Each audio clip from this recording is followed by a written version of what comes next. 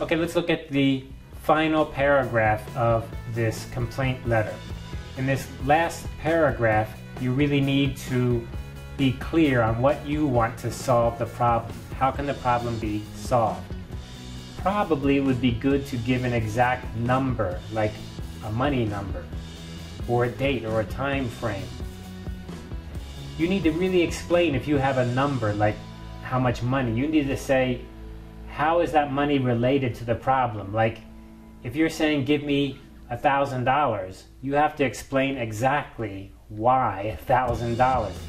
How is a thousand dollars equal to this problem? You cannot just say, oh, I feel you should give me about a thousand dollars. So clarity is important and logic. You need to think about a few options, right? There are many options. You could get credit, you could ask for credit.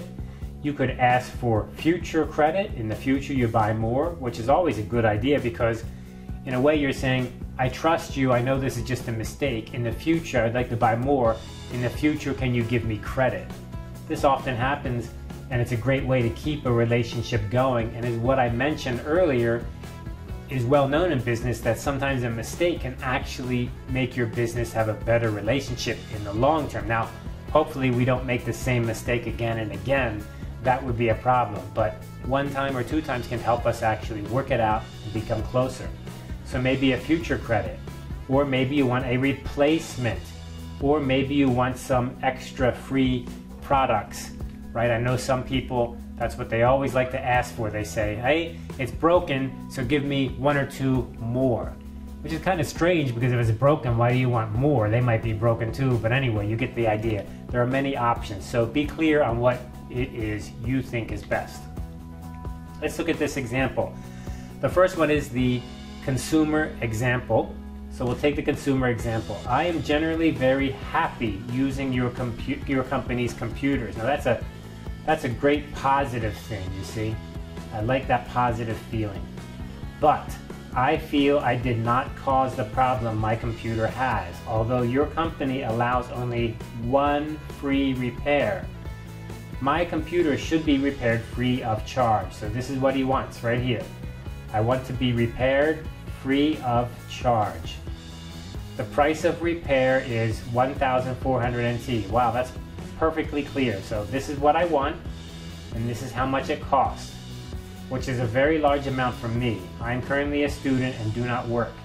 I hope you can help me with this matter, and I can begin using my computer soon because it is very important to my studies so clear about those two points. What is it you want? And then how does this thing relate to the problem? Very easy to understand. I like that. Here's the business to business example.